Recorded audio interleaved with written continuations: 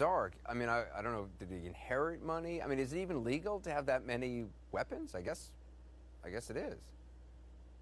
Uh, well, as crazy as it sounds, because we asked that exact question to the LAPD, there isn't a limit of how many weapons you can own.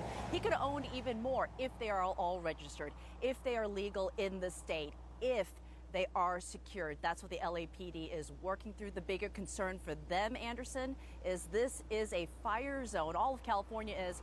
Imagine if there had been a fire with 6.5 tons of ammunition inside this home.